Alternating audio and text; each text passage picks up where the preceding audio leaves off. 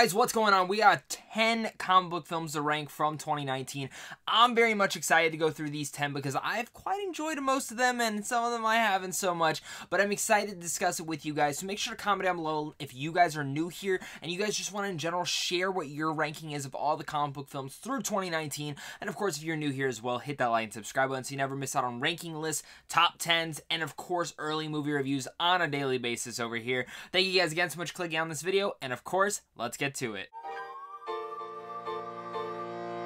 Coming down at number 10 is going to be Polar, a Netflix comic book property movie starring Mads Mikkelsen. Now, personally, I didn't really care for this one, and, and I'm going to be even honest.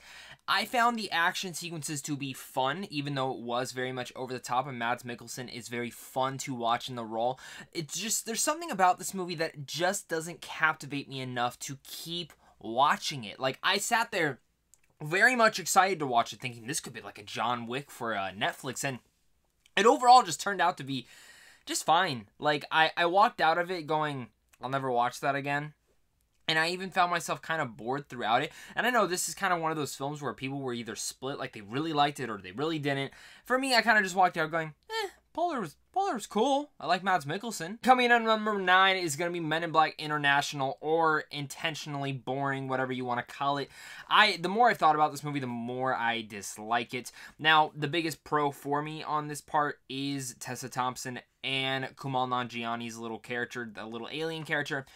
If it wasn't for those two, I honestly would have probably would be my least favorite comic book film. There's something wrong with the Men in Black International. It just feels lacking of any substance and material that the even the original three Men in Black films at least had some of that fun aspect to it. This one didn't feel like it had a coherent story at all. The action was fine. There was really nothing that stuck out for this one. I just found myself sitting in the seat going, what is this? Like, what is this? And the more I keep thinking about it, like, there was one point where I was actually at Walmart one day looking at Blu rays and I saw that Men in Black International came out and I went, ew, like, out loud, very loudly. And this lady next to me was like, what? And I said, the movie. It, it's ew. And she just looked at me and gave me a dirty look and then put it in her cart. And I was like, the movie sucks. Spend your money on something better. coming in at my number eight, some people might be like, well, this movie sucked. I, I actually got some fun out of it, and that is The Kitchen. Now, I understand there are a lot of cons to this movie. A lot of the story structure, some of it seems very rushed, but I kind of liked it, like, for that aspect. Like, it's a nice little throwback comic book film that we would have gotten, like, 10 or 15 years ago. I like Melissa McCarthy, I like Tiffany Haddish, and I absolutely love Elisabeth Moss in here. I wish she had more to do in here really didn't. And even though Haddish and McCarthy aren't doing that great with the material, like they're doing good, but they're not like they're just being themselves. I still enjoyed it. I like the story. I like seeing these women come into power of these mobs, and in general, there's something about that that's just fun to watch. And I know I'm very much in the minority on that. It's no means a masterpiece or anything, but I I like these kind of old throwbacks to those old comic book films, which I know some people thought Polar was like that, and I wish I would have gotten that same feeling from Polar. Coming up at number seven is gonna be Dark Phoenix. I actually didn't hate this movie. I, I found it to be lacking and of any depth, and it was a little bit dull here and there. But my God, I, I, I enjoyed some of it. I think the score is fantastic. Like I love the score in Dark Phoenix. And I even really liked the whole train action sequence. And I think that was actually a reshoot from what I understand. And it was quite fun and entertaining. I wish the rest of the film had that. And honestly, I wish the trailers didn't spoil so much. The movie is very predictable. I didn't really like the ending. Like, it just feels like it goes out on a whimper. Like, for the whole X-Men franchise that we knew and love. And it never hit that same peak that Days of Future Past and First Class hit for this new franchise. Like, Dark Phoenix I found was better than Apocalypse to be honest, but I don't think that's really saying much. I just felt like it was lacking any cool substance to it that maybe the other X-Men films had. Yeah, it has some cool action sequences here and there. There are some nice character moments and it's great to see every single person in the role. I just watched this and I'm like they're rehashing so many different things from other X-Men movies and it's not better. I mean, my number six is gonna be Captain Marvel. Now I'm in the minority. I found this one to be a little bit fun. I like Brie Larson in the role, and I think everything that works in this movie is surprisingly everything that happens on Earth. Anything that goes into space is kind of when it loses me in that part, um, especially within the first act and the third act. Kind of got a feeling of a a low budget Halo movie for some reason in the first act. The second act, everything that kind of goes into Earth and her relationship that she has with Samuel Jackson kind of rises and elevates the movie to its material. I just wish they didn't erase her mind. I think that's my one thing because she just came off like uh, a bitch. And that's not, I, I don't mind that. Like, I like different characters and different superheroes being like that. But sometimes a certain character, she was coming off this way, and I'm like, you shouldn't be coming off like that. I get from her character's perspective, and I still love Brie Larson in the role. I like when she starts developing more into the role as the movie goes on. I started feeling a little bit more for her as more character progression comes through. I just wish those flashbacks weren't a thing. And there are a couple other things that happen with Goose the Cat, which I didn't mind, but I wish they didn't have those elements because it felt a little bit predictable. Again, Captain Marvel's not a bad movie. I like it. The action's fun. The world's cool. I think this is gonna kind of have a Thor kind of effect to it, where the first two Thors didn't really work for me, but Ragnarok worked a little bit better for me. But in general, I, I'm still not the biggest Thor fan unless he's teamed up with people. Captain Marvel, same thing in here. I don't like her by herself, but when she was teamed up with Samuel Jackson, I loved it. I think in the team movies, I'm probably going to like her character more, just like with an Endgame. And I think with other future movies, we're going to see something like that. Of course, coming in at my number five is going to be Alita Battle Angel. Now, I know this is a manga. I've never read the manga, but I absolutely fell in love with the world of Alita. This is something that James Cameron does so well. And bringing Robert Rodriguez's direction style in here worked. It was a brutal action sequences. And while I still really much hate, I mean, hate the relationship in here. And yes, I know it's from the comics and everything. I just don't think it works at all.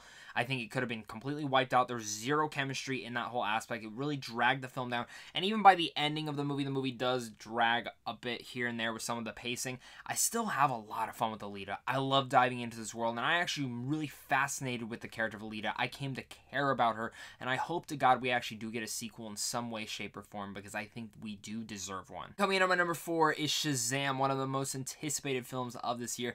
I'm a major fan of Zachary Levi, major fan of David F. Sandberg, and this film did not let me down. I laughed, I smiled, and I had the biggest blast of comic book geekness, almost one of the biggest comic book blasts of the year. Shazam's one of my favorite DC characters, and to see him come to life on the screen was one of my favorite things to see all year long.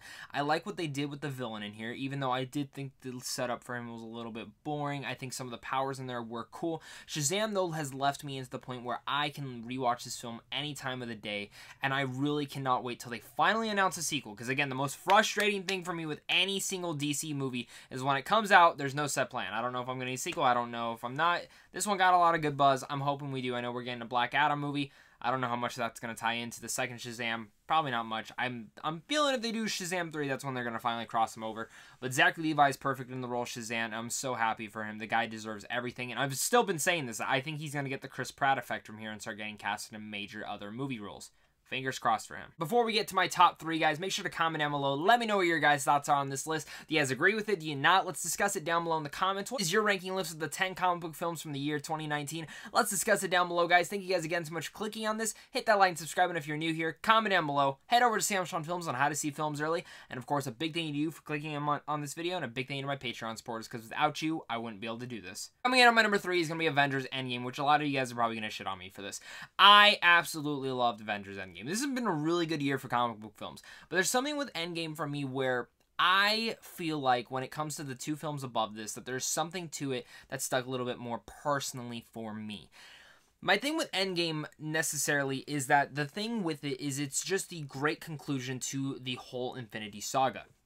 I love Infinity War. I still like Infinity War just a little bit more, but Endgame has that satisfying emotional conclusion by the end of it. And while I still will say I think the the middle act of this film, everything with the time travel sequence is a little bit lacking for me.